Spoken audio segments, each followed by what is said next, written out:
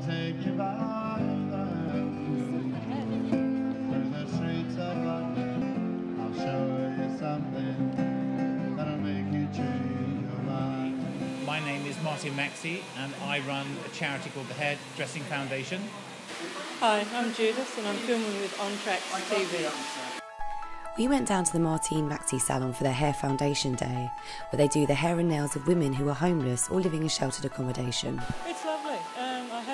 I've not had an income for three years, so uh, uh, and I like to look after myself. So without money, this, this is a beautiful, beautiful, wonderful gift that you're giving to us. It's lovely. Yeah. The generosity of the people of London is wonderful.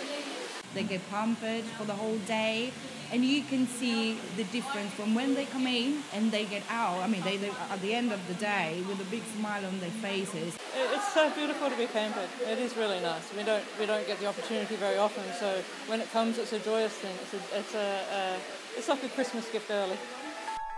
Judith told us of her love for both singing and photography, and she kindly showed us some of the photos she'd taken with her digital camera. Uh, you need a creative outlet. You need to be looking for beauty. And if you're looking for beauty, then your mind's stayed on the beauty rather than on your circumstances. Uh, if you focus on the hardship, then you, you get flat and you become less and less and you, you, you stumble and you fall. But if, if you're looking for beauty, and when, you, when you're a photographer, that's what you're looking for. You're looking for, will this be a good photo? Will that be a good photo?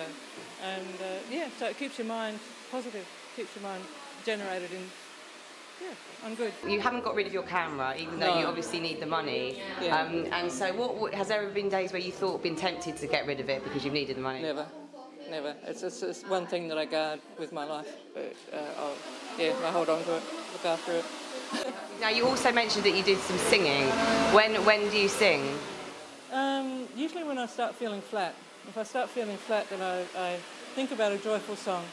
And, and as a Christian, I will sing a hymn or a, a gospel song, or, and, and it changes my mindset. It takes away the darkness in your head, and it takes away the darkness in your heart, and it, it lifts you up. Yeah. Someone said, "You must be happy because you're singing." I said, "No, I, I sing because because it makes me happy." So it cha- it's the other way around. So yeah.